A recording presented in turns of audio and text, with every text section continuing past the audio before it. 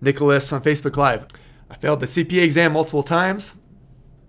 Historically in school, I've been a terrible test taker. Why should I continue? Well, first of all, Nicholas, there's a lot of people who feel the same way as you, and school release is tomorrow, so there'll be a lot of people who go to bed tonight wondering the same thing.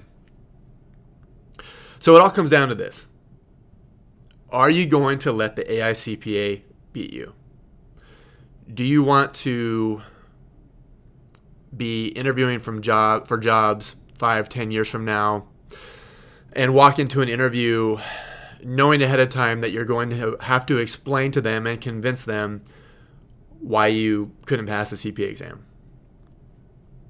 and why they should consider you over a over a job candidate who has.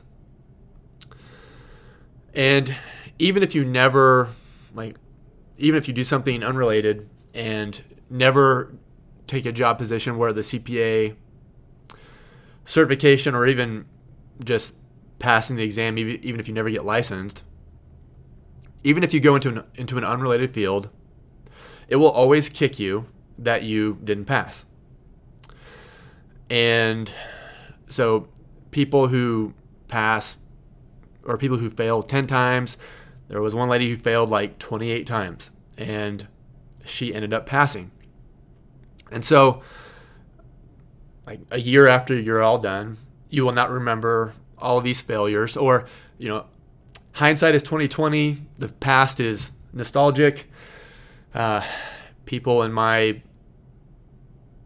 age group sounds makes me sound old i'm a gen xer so people it's easy it's easy to look back in the 90s and think man things were so much better back in the 90s the music was so much better well the 90s had a lot of problems too and so the the cpa exam uh, you will after long after you pass, you will look back and you won't remember. You won't think about all these hard times. You will think about, you know, man, I kind of wish, I kind of, I kind of miss getting up and studying in the morning. Well, maybe not that, but but I kind of miss feeding my brain, and so maybe I should start reading some business books because my I really enjoyed the learning aspect. And so, um, if you're ever considering truly quitting, I would take three months off, and and I would buy a new study course. I would do anything that it takes to for like a mental for mentally wiping the slate clean.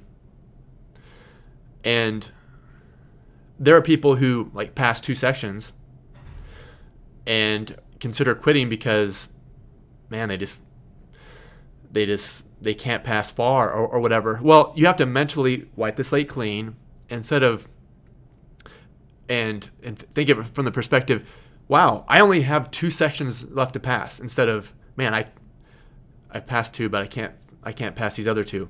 So I don't know if that's helpful. Don't let the AICPA beat you. I mean, it's it's not like the AICPA is your enemy, but it helps to create some enemy who's trying to keep you down and get you pissed off, get you organized, and um, it gives you a um, a mental foe to go after. When in most cases, the, your actual foe is probably yourself.